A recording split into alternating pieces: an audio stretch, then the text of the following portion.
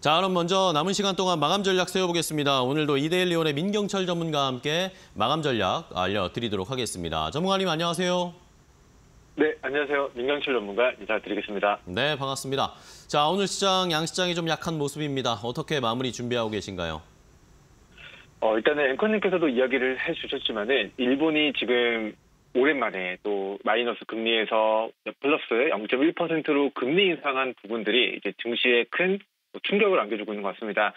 어쨌든 금리 인상이라는 것은 유동성을 회수한다라는 것을 의미하기 때문에 일본 쪽 마이너스 금리로 유동성이 공급된 부분들을 회수하는 과정에서 우리 기업들의 투자자 있는 외국인들의 자금 또한 이탈되지 않을까라는 우려감들이 오늘 코스피 코스닥 지수의 하락 요인으로 좀 작용이 된 것 같고요.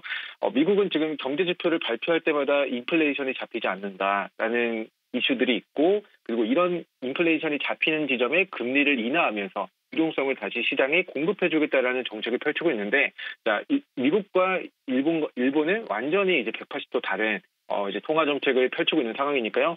자, 미국 쪽에서는 금리가 연중에 인하되면 유동성이 추가로 공급되고 증시에는 호재로 작용될 가능성이 높다. 그런데 일본에서는 금리를 인상하면 유동성을 회수하는 정책이기 때문에 일본 쪽 자금이 이제 유동성이 회수되면서 우리 시장에서 또 안 좋은 어, 영향을 미칠 수 있는 부분이니까요. 앞으로 미국 쪽 금리 인하는 호재로 그리고 일본 쪽 추가 금리 인상은 악재로 작용될 수 있다는 것을 인지하고 이슈를 체크해 가시면 좋을 것 같습니다.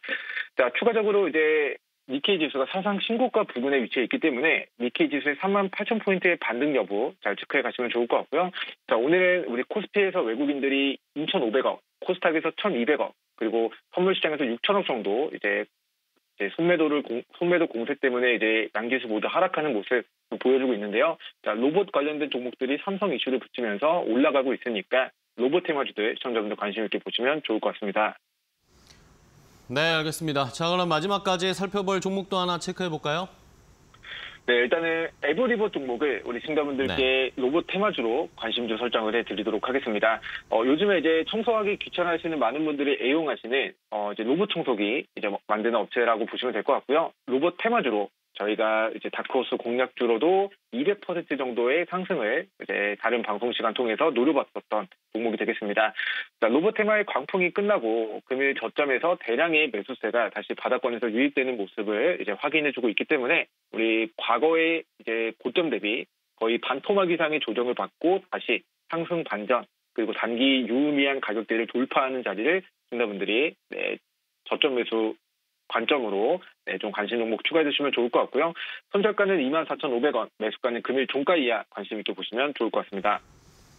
네, 알겠습니다. 자, 오늘 뜨거운 로봇주 중에 하나 에브리봇까지 마지막까지 저희 잘 살펴보겠습니다. 오늘 좋은 전략 알려주셔서 감사하고요.